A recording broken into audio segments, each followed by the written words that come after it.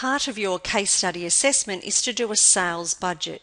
So we have the question spreadsheet here and then beside it we have the sales budget question.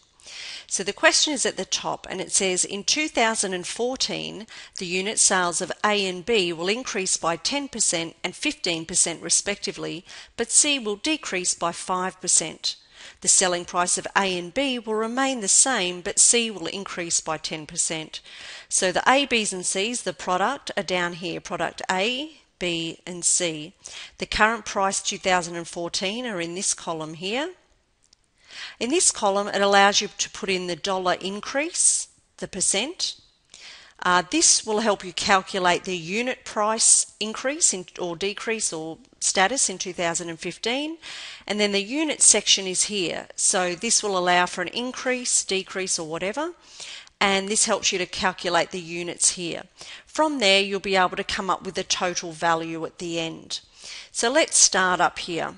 So unit sales. So we're talking about unit. Here we go. The units here uh, will increase by 10% and 15% respectively. So A is going to be an increase of 10% and B an increase of 15%.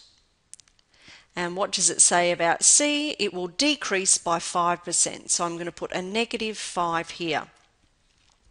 Looking at the next part of the question, the selling price, so this is with dollars, of A and B will remain the same, but C will increase by 10%. So the increase of A, it's going to stay the same, that's going to be 0. Same with B, 0. And C is going to be 10%. So by doing this, you should be able to calculate the unit price. So what's $20 times 0% increase? Well, that is going to make no difference. Same here. What's 10% of $25?